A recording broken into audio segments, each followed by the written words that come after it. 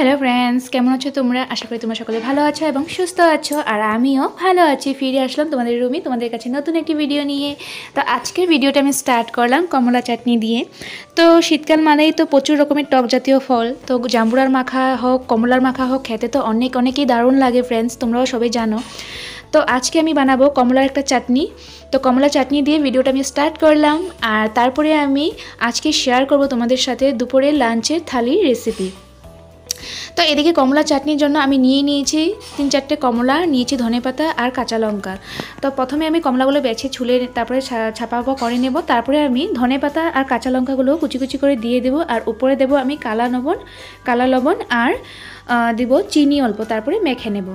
তো শীতকালে না গরম মানে রৌদ্রের মধ্যে বসে কমলার মাখাটা খেতে দারুণ একটা জমে যায় ফ্রেন্ডস আর তোমরা তো সবাই জানোই, জামুরা মাখা হোক বা কমলা মাখা হোক, খেতে তো কেরকম একটা দারুণ লাগে বা জলপাই মাখা হোক। টক জাতীয় ফল খেতে সবাই ভালোবাসে, তো আজকে আমরা সবাই মিলে বসে রোদ্রুতে বসে খাব। আর তোমরা দেখবে, তো কমেন্টে অবশ্যই জানাবে আমার কমলা মাখাটা কেমন লেগেছে তোমাদের।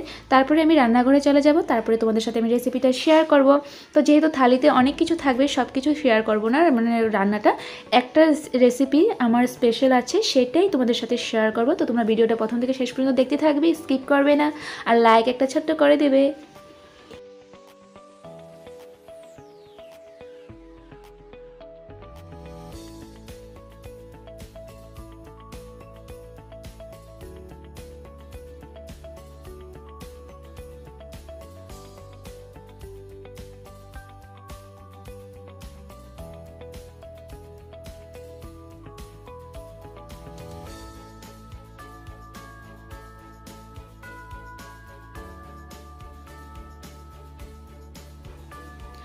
তো ফ্রেন্ডস হয়ে গেল মাখা কমপ্লিট তো চলে আসলাম রৌদ্রতে, আর বাইরে বসে সবাই এখন খাব। আর খুব খুব খুব দারুণ লাগছে দেখতে। তোমাদের কেমন লাগছে কমেন্টে অবশ্যই জানাবে। আমার তো খুব ভালো লাগছে, আর ঘরের সবারই ভালো লাগছে। আর মাখাটা সত্যি ফ্রেন্ডস এত টেস্টি হয়েছে, কি বলব? সবাই খেয়ে বলছে, আমি বলছি যে তা না। তো এখন সিধা চলে যাব রান্নার কাছে, তবে দেখতে থাকো। তো এখানে আছে দুটা মাগুর মাছ। তো মাগুর মাছগুলো আমাদের অনেক দিন আগে নেওয়া হয়েছিল, দুটা আছে। তো সেটা দিয়ে আজকেই তোমাদের সাথে আমি চাটনি রেসিপি শেয়ার করব। তো মাছগুলো ভালো করে ধোয়াধুয়ি করা হয়ে যাওয়ার পরে আমি নুন, হলুদ মেখে নিয়েছি, তারপরে আমি ভেজে নিচ্ছি কড়াইতে। তো হালকা হালকা ভেজে যাওয়া হয়ে যাওয়ার পরে আমি মশলাটা পেস্ট করে দিয়ে দিয়েছি। আর মশলাতে দিয়েছি টমেটো, কাঁচা লঙ্কা পেঁয়াজ আর রসুন। তো একসাথে পেস্ট করে নিয়েছি আর এখন ভালো করে ঢাকা ঢাকা করে আমি সুন্দর করে মাখো মাখো টাইপের করে নেব। তো তোমরা দেখতে থাকো।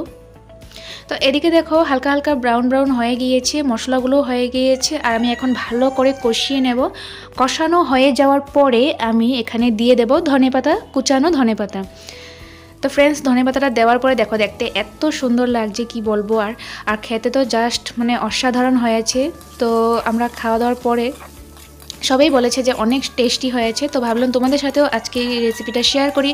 তো যেহেতু জিওল মাছের রেসিপি তো একই হয় কাঁচা কলার আলু দিয়ে ঝোল করা, তো আজকে তোমাদের সাথে চাটনি রেসিপি শেয়ার করলাম। এটা হলো মাগুর মাছের চাটনির রেসিপি তো আমার থালি কমপ্লিট হয়ে গিয়েছে, এই যে আমি সাজিয়ে নিয়েছি। তো আজকে আমার লাঞ্চের থালিতে আছে বাঁধাকপি মাছের মাথা দিয়ে, আর করেছে সিম ভাজা, এদিকে আছে মুসুরি ডাল, আর ও দেখো চাটনিটা দেখা যাচ্ছে। কেমন লেগেছে ভিডিওটা অবশ্যই কমেন্টে জানাবে।